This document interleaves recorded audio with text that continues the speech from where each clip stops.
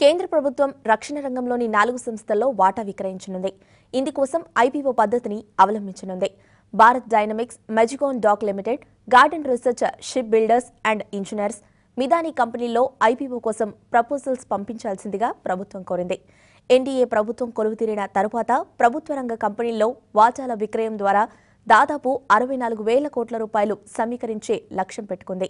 అందులో భాగంగానే రైల్వే సంబంధిత కంపెనీలు కూడా ఈ ఏడాదిలోనే ఐపీఓకి రానున్నాయి. వాటితో పాటే డైవెస్ట్మెంట్ ప్రక్రియలో రక్షణ రంగ కంపెనీలను కూడా కలిపినట్లు అర్థమవుతోంది.